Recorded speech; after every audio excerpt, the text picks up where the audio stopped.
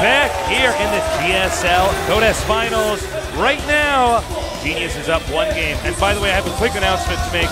Apparently, we are getting so much traffic for uh, online for this event that uh, is, there has been some crash on the site. Yeah, we have people working on it right now as we speak. We hope uh, it has not interrupted your viewing experience, but we do assure you that uh, we have people on it. Yes. Yes. We have the GOM technicians working on it nonstop. We want everyone in the world to be watching these finals. It's already epic. We've already had one fantastic game. I'm sure many more are soon to follow. Well, that was quite a sight. Game number one, let's talk about it. That was a game Well- where they both played standard. Yeah. Which is not normal for Genius. Normally, Genius does something wonky or something tricky. Well, he had a superb uh, three base timing attack. It was really, really well done. And he came in from an angle DRG wasn't really expecting, man. Yeah. He skipped the spine crawlers almost completely. He basically just circumvented the defense. Yeah, yeah. The infestors turned out not to be all that useful for DRG this time. Well, let's take a look at some awesome stats here of the finals history. Things like the ranking difference between the two players. Things like uh, the sitting location. Six champions the left, seven on the right. Uh, that's telling me I think DRG's going to win it, man. Looks like he has over 50% chance He's to win He's got a higher one. chance. He picked the right seat, right? Yeah. And uh, a lot of great stats here. Look at that. The, the win rate losing one set, as you see, only one time by NesTea, like we were talking about before. Yeah. And winning set one 12 times. So out of 13, man, it's almost always that. Over 90% of the time now, Genius is favored to be the winner. But DRG is so good. I absolutely put him up with the likes of NesTea. I think it can be done. of the impact this will have on DRG's career after already getting second place in the MLG Winter Arena to then get a second place here in a GSL Code S. Yeah. Wow. That's that sucks. right. That's going to turn him into Neo Marine King. he keeps that up. That's true. That's true. In fact, ended in set seven. Notice how it's Slayers MMA in there. Notice how NesTea had like has all these records in there. It's kind of funny. But uh, the second place of Slayers MMA in that was in fact DRG in the Blizzard Cup. Went to game seven. Losing game one doesn't matter to DRG. Losing game two doesn't matter to DRG. Losing game three doesn't matter to DRG. Losing game four doesn't matter to DRG if he won one of the first three games. but basically what I'm trying to say is he can always, always, always come back and make it a series. You know, it's so fascinating to see that um, the MVP team is always surprised at how well Genius does on camera. But look, Genius is the clutch toss. Yeah. He is completely clutch. I, no, nothing's getting in the way of this guy. You can see how confident he is uh, as he walked on the stage after winning that game, giving the thumbs down to his teammate DRG. They're out Well, for blood know, today, Artosis. I feel like the reason for this is Tasis because DRG really harped on it a little bit how when it really matters he wins, but during practice he's not so good. That is actually the sign of an extremely intelligent player because Yeah. he plays his opponent. If he's playing just random kids in their team that don't really get the game, he's going to do complex stuff that his opponents in Code S will be thrown off by or it will counter what they're doing. Whereas if he's just playing a mindless guy who's just macroing and attacking at certain times, that's going to throw Genius off because he's used to operating on a higher level. So that's just something to consider. You know, I think um, you know, the way to sum it up is genius is the better his opponent is, the better genius is going to do because he gets Exactly. inside their head, Exactly. figures out what's going on. He gets it, man. He gets it. He's so smart. But DRG is too. That's why this is going to be such a good series. I, we have never had a finals packed like this here in Korea. No, no. We have never had. I can't even emphasize how many people there are. There's, I think, if there's a fire here, everybody's going to die. Except you and me. Except We're going to ride out on our magic carpet. That's right. All right, so game number two between Genius and DRG on Antigua Shipyard here in the GSL Code S Finals. In the upper left, in the red, we have our Protoss player up one game. If he wins this next game, he'll have a huge, even even bigger uh, momentum behind him. His ID is MVP Genius. Genius.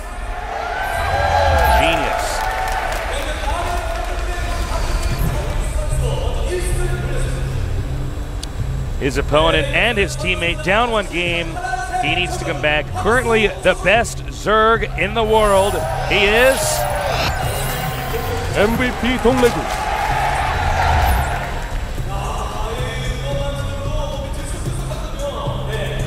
A fearful face. He's got that right Terminator there. face on right now. Dude, he as the match goes on, he will look more and more concentrated. That's actually something I've noticed with DRG. It sometimes takes him a little bit to get warmed up, but eventually yeah you just look at him, you're like, oh my god, can anyone beat someone that looks like that while they play?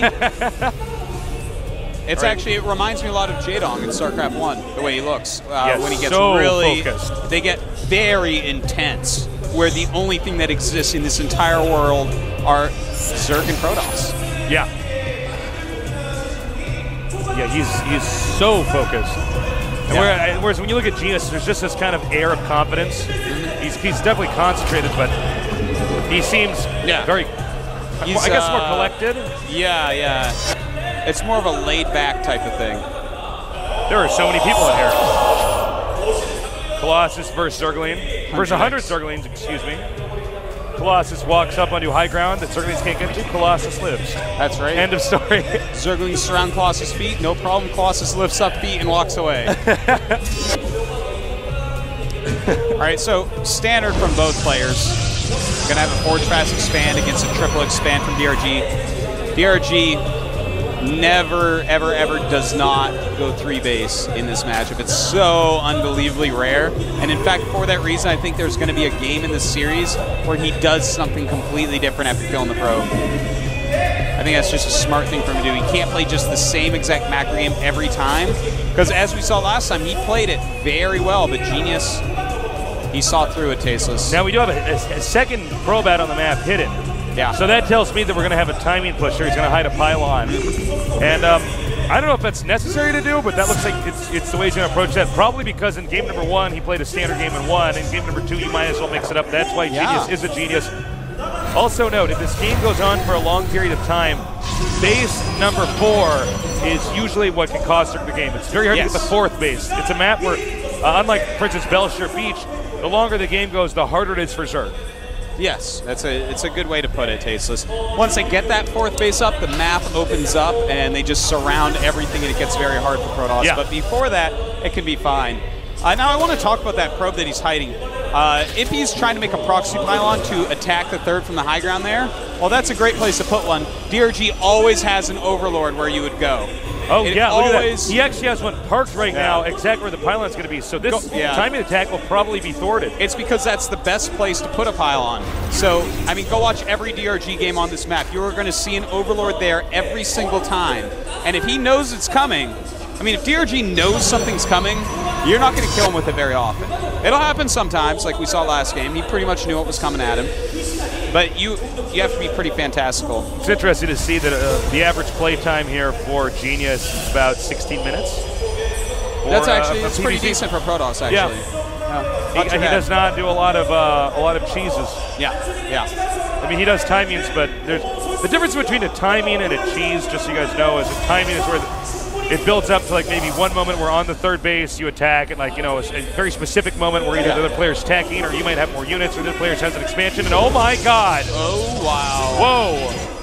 He must know actually that DRG only puts the Overlord there Yeah. to check for the pylon. Oh, so he's not going to assume that anything's hidden up here. Oh, this is pure risk, but pure awesome. Two proxied starports. So, what we're going to see here, most likely, is three Void Rays into Phoenix. Not two Void Rays with two starports. You never get two. It's not a good number, but three is going to be awesome. One would be okay. None would be okay. We're going to see three, and when you, the trick is with three, you just kill everything. Yeah. Like three charged void rays, when you try to walk over a spore to burrow it, they kill it before it burrows. Before it can go off one shot, three charged void rays will kill Now it. here's a question. Uh, let- let- before the action picks up, do you attack the destructible rocks to get the void rays, all three of them charged up, or do you just go in and attack? I think that you go immediately into attack. If he sees you attacking things, that gives him time. Build three, move in.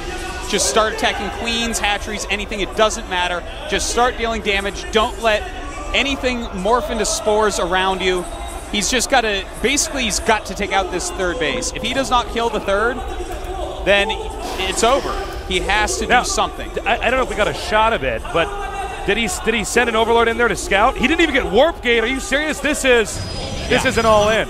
Yeah, in many ways, I would say so. Yeah, he's got to do a huge amount of damage with this. All right, so he's going right up to the three Void Rays, following it up with Phoenixes. We have one Spore on the way, but three Void Rays, how much do they care about one Spore?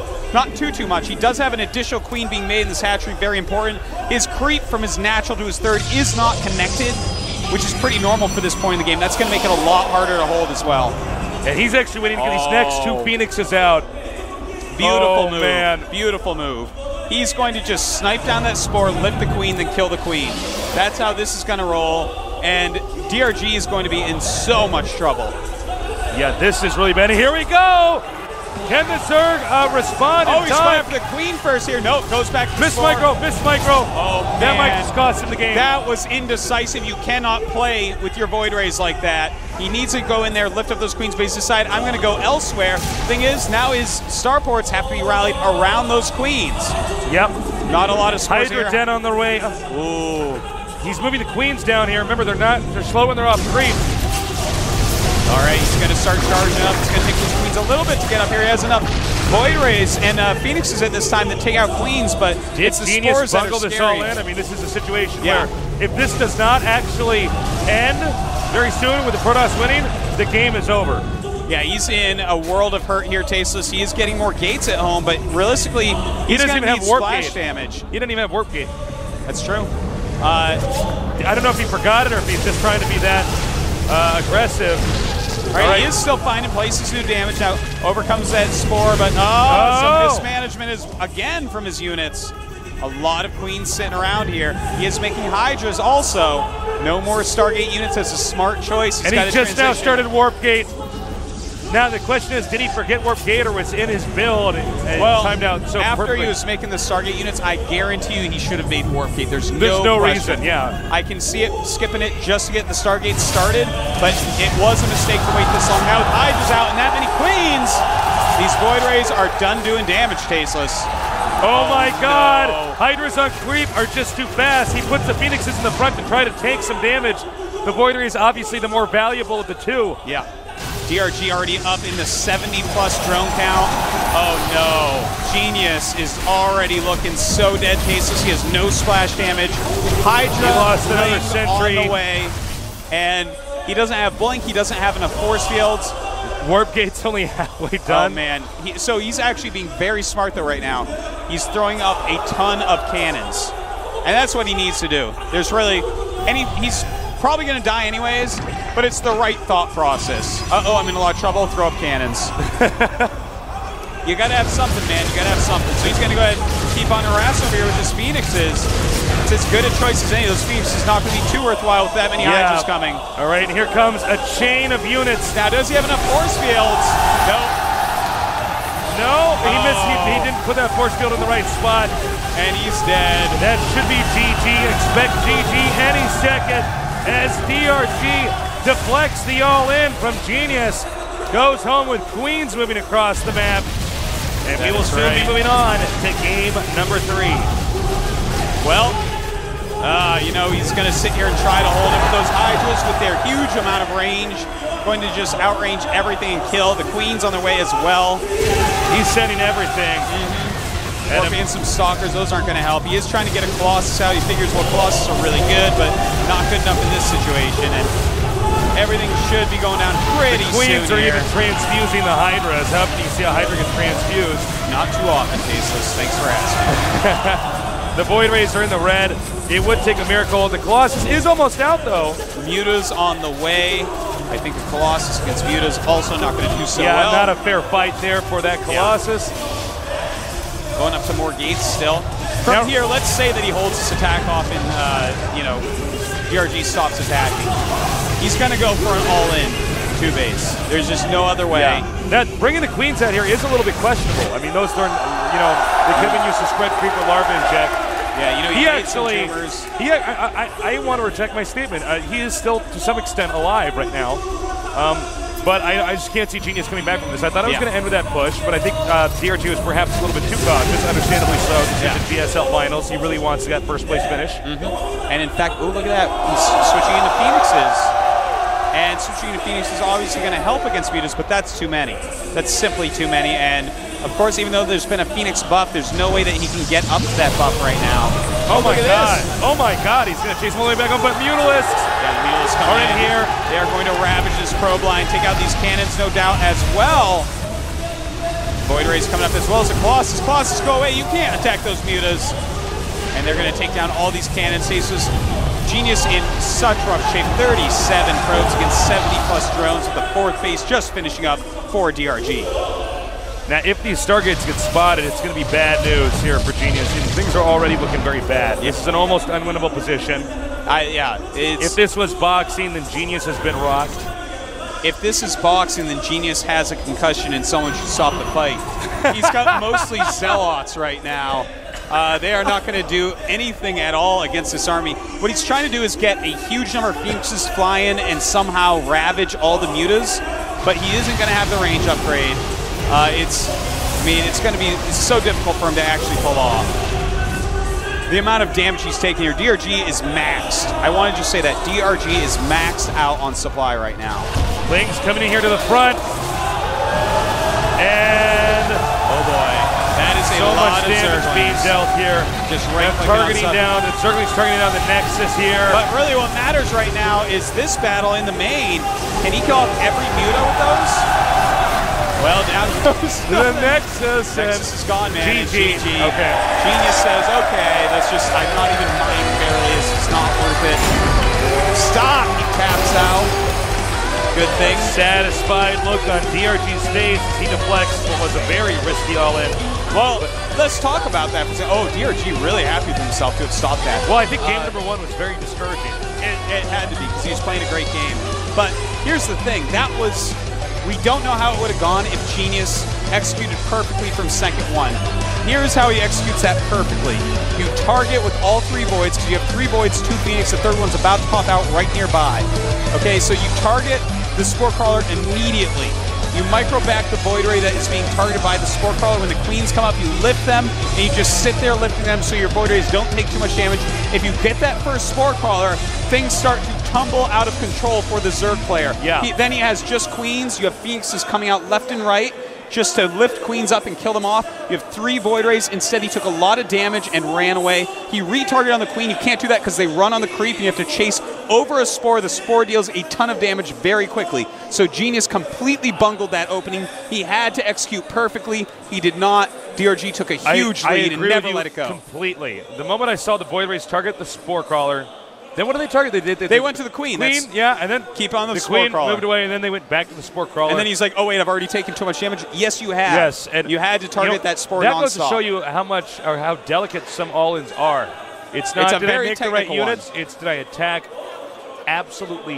No, perfectly. it's with that build, proxy with those gates, you must attack perfectly. You must execute it perfectly. If the first place you're showing it has that one spore, if you don't do it like I just said, you are dead unless he screws up. really interesting all-in. I'm so curious if he forgot the warp gate. At the start, or if it's like one of these things where in his Yeah. build he's like, it's so precise. I'm- he says, "No, yeah. I need the extra gas." I'm fairly certain that he was supposed to start it during Phoenix production. Uh, I'm I'm quite certain that that's how it is. In fact, I'm just let's everyone take my word for it. He was supposed to start it during Phoenix production to get the void rays Well, off the ground. You just- skip as much as you can. build gateways in their main, there's never a game where you don't get gate. No, very true. You know, He should have started a lot earlier than he did. and even if that all-in didn't kill him, uh, if, if he did it right, it could have been enough, enough damage for the gateway push. Would have been the next thing. Oh, he yeah, would have done. He would have taken out at least the third. It was it was forgotten for at least a little bit. Well, our next map, ESV Cloud Kingdom. A new map in the ladder and in the GSL. It is going to be interesting to see how these two play from here. It's one on one. Yeah, it is, and uh, some some cool things about the map. The third base can be pretty tricky for Protoss to take.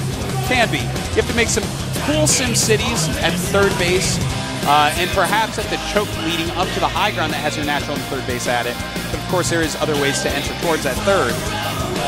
I'm excited to see what build Genius uses here. I, For I- DRG, I don't think he's going to do an all in. I, I could see a timing, but no all in like the last game.